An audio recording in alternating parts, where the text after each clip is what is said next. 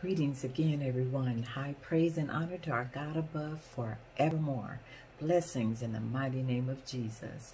You know, during these extremely trying times we're living in, sometimes it can feel as if we're all alone, even in the midst of family and friends.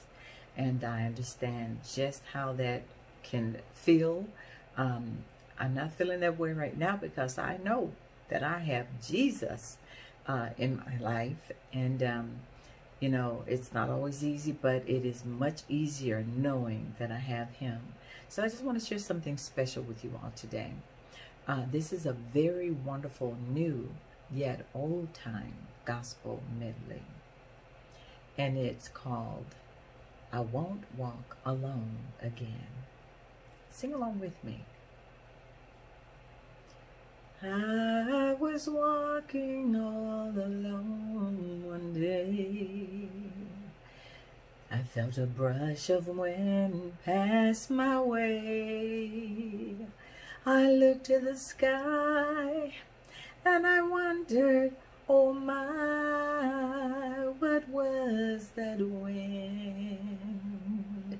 It was refreshing, it was cool, it was warm, oh, so new. Lord, I felt your presence when I was walking all alone. You joined me.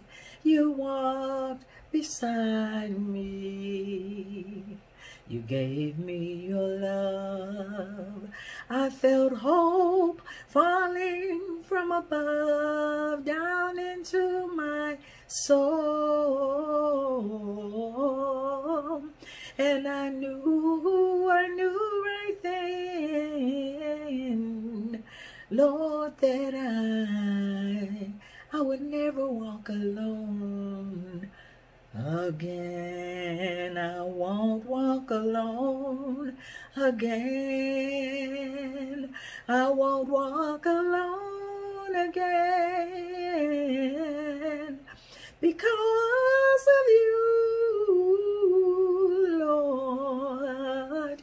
I will never walk alone again. Lord, hold my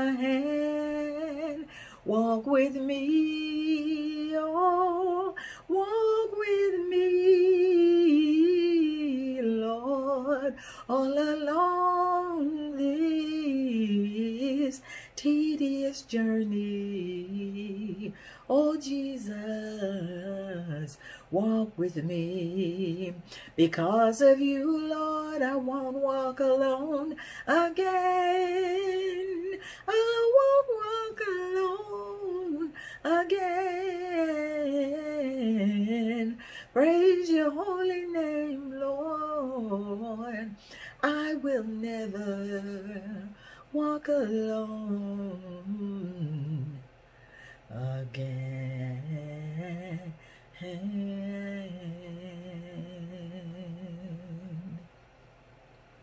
Blessings in Jesus, everyone. Thank you so much for singing along.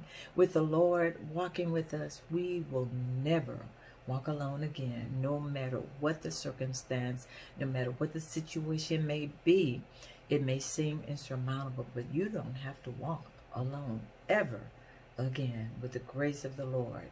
Just usher him into your heart and your soul. He's standing right there waiting, ready to fill your soul, your entire soul with his strength, his power, his love, his healing.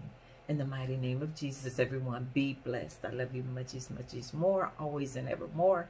And always remember that Jesus will always love you best.